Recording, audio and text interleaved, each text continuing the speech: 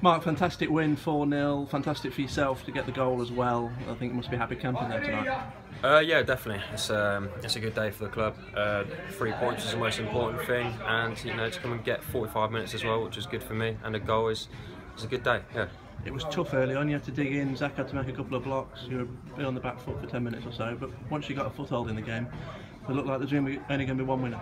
Yeah, we, we started a bit slow, um, and then Millsy come up with some terrific blocks. Um, luckily, you know, we didn't go behind, and then we managed to hit Kane free on the right, and he's burst through as Kane does, and he's tucked it away, and it's, it's I think that settled us down, and it's, it got us in good stead for the game.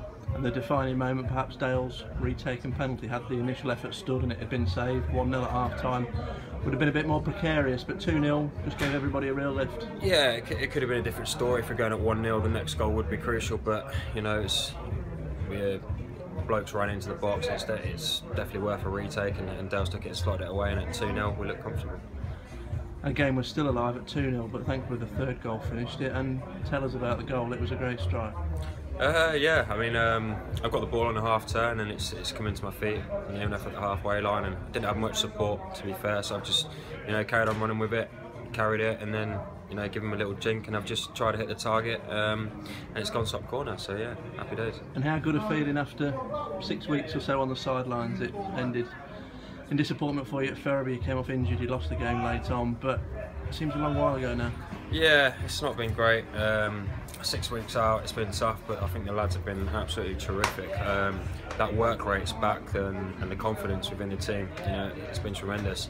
Um, so yeah, six weeks out, it's been tough, but it's great to be back. And um, you know, Gaffer's given me 45 minutes a day, and I feel like I've repaid him with a goal. And from yourself and Dayle having all the burden at the start of the year, you've got Rollins and Felix now fit and firing. You've got John Sands and Ryan Robbins waiting to come on, and it's looking a whole lot better for you. Yeah, I mean that's it. We've got we've got plenty of options now. We had three strikers on the bench today, as well as three strikers on the pitch. So um, we've got that depth in the squad now. I think that's what we needed at the start of the season. You know, people playing for their shirts.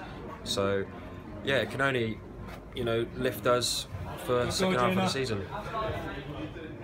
And for yourself, what does it mean? It's um, you had a great run last year once you managed to get a goal, and hopefully this time around it might be might be a similar case.